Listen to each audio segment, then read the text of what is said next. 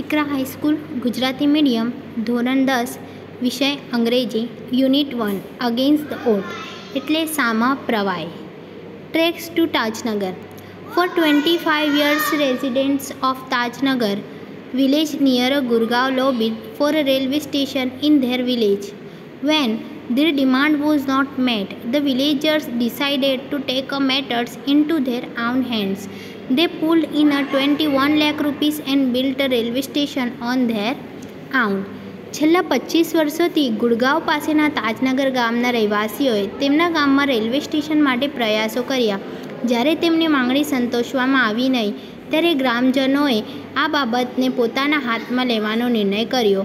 તેમણે એકવીસ લાખ રૂપિયાનું ભંડોળ એકઠું કરીને તેમની જાતે જ રેલવે સ્ટેશન બાંધ્યું. Most of the 3000 people living the village are farmers, but such was a burning desire to have a station in the village. Everybody contributed according to their own capacity, ranging for, from 3000 rupees to 75000 rupees.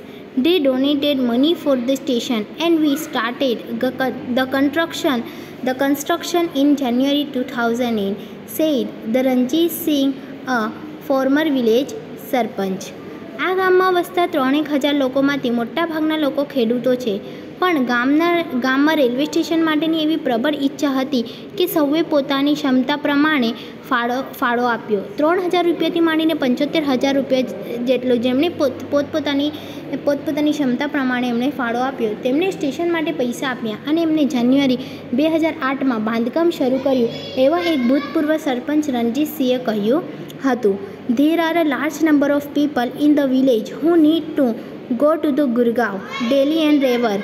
There are students who go to colleges. colleges. Till now, we had to either go to Halimandi to or partly catch a train. Both the stations are 6 kilometers away from Tajnagar.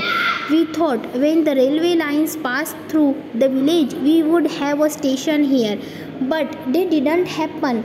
So, we raised the demand in 1982 and have been uh, continuously asking for it but the railways told us the they did not have found so finally we decided to craft our own destiny said hukumchand a member of the committee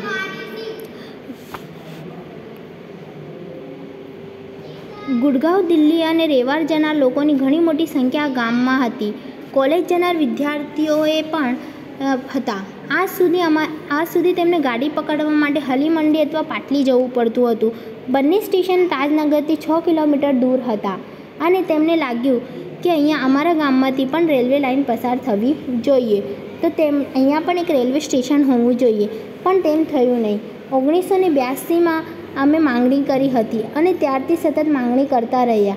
પણ railway પાસે એટલું ભંડોળ નથી એવું તેમને કહેવામાં આવ્યું. તેથી છેવટે અમે અમારી નિયત અમે અમારી નિયતિ સ્વયં ઘડી કાઢવાનું નક્કી કર્યું એવા ત્યાંની સમિતિના સભ્ય હુકુમચંદે જણાવ્યું હતું as a result the panchayat passed a resolution in 2008 saying the since the railway was not able to build a station for them they would do it for themselves and with their own money soon an 11 members team was formed and the team started collection money for uh, villagers on 7th January 2010 as a result of their efforts the first railway station in the country on which the railway did not have to spend a single rupees started or operation પરિણામે બે હજાર આઠમાં પંચાયતે ઠરાવ પસાર કર્યો કે railway તેમના માટે સ્ટેશન બાંધી શકતું ન હોવાથી તેઓ તેમની જાતે જ બાંધશે અને તે પણ તેમના પોતાના પૈસાથી.